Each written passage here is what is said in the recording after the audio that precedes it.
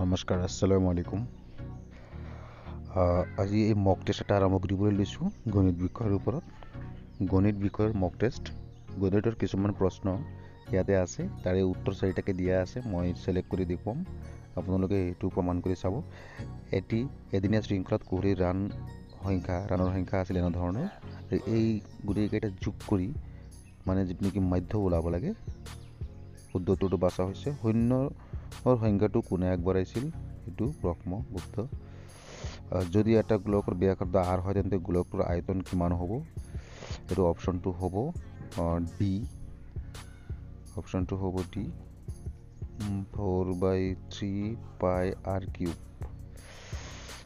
metric পদ্ধতিত জুলীয়া পদাৰ্থৰ পৰিমাণ জোখাৰ মৌলিক একক হ'ল কি এইটো হ'ল লিটাৰ যিহেতু মেট্ৰিক পদ্ধতি এছ পদ্ধতি বুলি ক'লে এইটো মিলি লিটাৰ হ'লে হয়। যিহেতু মেট্ৰিক পদ্ধতি গতিকে লিটাৰ এটি প্ৰবৃদ্ধ কোণৰ মাপ প্ৰবৃদ্ধ গতিকে প্ৰবৃদ্ধ বুলি ক'লে এশ আশীৰ পৰা তিনিশ ষাঠি ইয়াৰ ভিতৰত থাকিব। ত্ৰিভুজ কেই প্ৰকাৰৰ ত্ৰিভুজ ছয় প্ৰকাৰৰ আমি জানো কোণ হিচাপে তিনি প্ৰকাৰৰ আৰু বাহু হিচাপে তিনি প্ৰকাৰৰ ৰোমান পদ্ধতিৰে লিখা এক্স চি মানে কিমান নাইণ্টি এক্স চি মানে ninety zero' point four seven seven আৰু ওপৰত তেনেকুৱা ধৰণৰ মাত্ৰা দুটা থাকিলে সেইটো হ'ব forty seven by ninety nine এখন বিদ্যালয়ত য'তজন শিক্ষকৰ বয়সবোৰ এনেধৰণৰ আছে তেওঁলোকৰ বয়সৰ মধ্যমা কিমান? গতিকে এইখিনি যোগ কৰি হৰণ কৰিব লাগিব এইটো মধ্যমাটো ফ'ৰ ফৰ্টি পইণ্ট ফাইভ এক সৌৰজগত কিমান?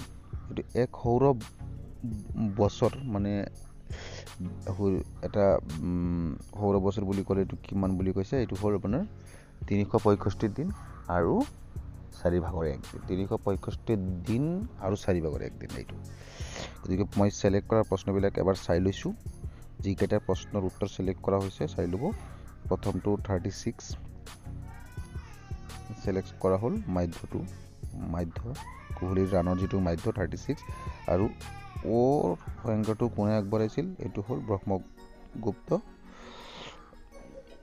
যদি এটা গোলকৰ ব্যাসাৰ্ধ আৰ হয় তেন্তে গোলকটোৰ আয়তন হ'ব এইটো এনচাৰটো ডি এইটো হ'ল four by three pi R cube four by three pi R cube উত্তৰ এইটো তাৰপিছত মই ছিলেক্ট কৰা উত্তৰ আৰু শুদ্ধ হোৱা নোহোৱাটো পিছত দেখা যাব এইটো নিশ্চয় হ'ব। মেট্ৰিক পদ্ধতিত জুলীয়া পদাৰ্থৰ পৰিমাণ জোখাৰ মৌলিক একক হ'ল লিটাৰ চি জি এছ পদ্ধতিত মিলি লিটাৰ হ'লে হয় এইটো যিহেতু মেট্ৰিক পদ্ধতি গতিকে এইটো হ'ব এম কে এছ পদ্ধতিত লিটাৰ। এক প্ৰবৃদ্ধ পুনৰ মাপ কিমান হ'ব? এশ আশীতকৈ বেছি আৰু তিনিশ ষাঠিতকৈ কম ইয়াৰ ভিতৰত থাকিব। ত্ৰিভুজ কেই প্ৰকাৰৰ? ত্ৰিভুজ আমি জানো ত্ৰিভুজ ছয় প্ৰকাৰৰ ত্ৰিভুজ কোণ হিচাপে তিনি প্ৰকাৰৰ বাহু হিচাপে তিনি প্ৰকাৰৰ। ৰোমান পদ্ধতিৰে লিখা এক্স চি মানে কিমান হ'ব? এইটো হ'ব নাইণ্টি তাৰপিছত জিৰ' পইণ্ট ফ'ৰ ছেভেন আৰু ওপৰত মাত্ৰা থাকিলে এইটো কিমান হ'ব? এইটো ছিলেক্ট কৰা হৈছে দেখাই পাইছে আপোনালোকে forty seven by ninety nine এখন বিদ্যালয়ত দহজন শিক্ষকৰ বয়স দিয়া আছে এইটো গড় বয়সটো অৰ্থাৎ মাধ্যমটো কিমান হ'ব? সেইটো ছিলেক্ট কৰা হৈছে দেখা পাইছে লাষ্টৰটো ফৰ্টি পইণ্ট ফাইভ এক সৌৰ বছৰ মানে কিমান? এইটো কোৱাই হৈছিল যে তিনিশ পঁয়ষষ্ঠি দিন আৰু চাৰি ভাগৰ এক দিন। মিলি হয় এক সৌৰ বছৰ। ছাবমিট কৰি দিলোঁ। ছাবমিট কৰাৰ পিছত দেখা যাওক এনচাৰ কি দেখায়। এতিয়া নিশ্চয় ইয়াতে এনচাৰৰ ওপৰত এনচাৰৰ হেৰিটো আহিব। ৰিভিউ এনচাৰ্ছ দেখা যাওক কি কি হয়। চাওক। আলহামদুলিল্লাহ গোটেইকেইটাই হৈছে। শুদ্ধই দেখাইছে। এক নম্বৰটো শুদ্ধ দেখাইছে থাৰ্টি ছিক্স দুই নম্বৰটো শুদ্ধ দেখাইছে। ব্ৰহ্মগুপ্ত। শূন্যৰ সংখ্যাটো আগবঢ়াইছিল। আৰু যদি এটা গোলকৰ ব্যাসাৰ্ধ আৰ হয় তেতিয়াহ'লে ইয়াৰ আয়তনটো কি হ'ব?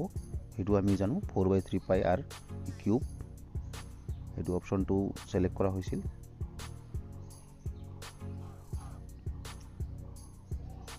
এইটো ডি অপশ্যনটো four by three pi R cube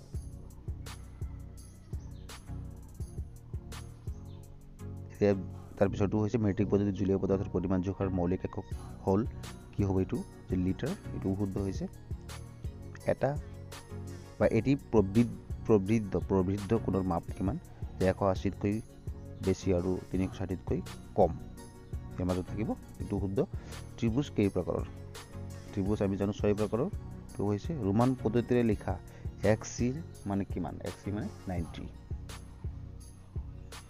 ninety zero' point four seven আৰু ফ'ৰ ছেভেনৰ পৰা যদি মাত্ৰা থাকে এইটো মানে কি পৌনপণিক বুজায়। পৌনপণিক এইটো হ'লে কিমান হ'ব?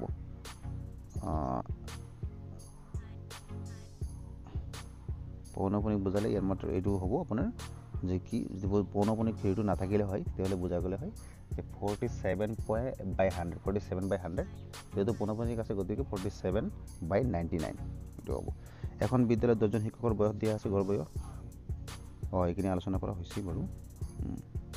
গতিকে যি দেখা গৈছে গোটেইকেইটা শুদ্ধ।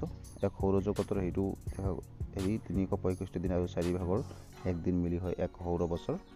ভিডিঅ'টি ভাল লাগিলে শ্বেয়াৰ কৰিব আৰু কমেণ্ট বক্সত জনাব যদি কিবা ভুল পাইছে হয়তো ভুলটো মানুহ মানুহ মাত্ৰেই ভুল ভুল হ'বই পাৰে। গতিকে আৰু আপোনালোকে পৰামৰ্শবিলাক আগবঢ়াব আৰু আগলৈ ভিডিঅ'বোৰ বনাবৰ কাৰণে যাতে সুবিধা